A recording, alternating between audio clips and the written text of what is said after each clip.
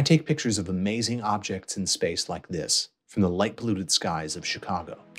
But this week I was so excited to get the chance to image from Green River, a dark sky site two hours west of the city. I packed the van with all my gear, drove through the twilight, and set up my telescope in time to start imaging my target.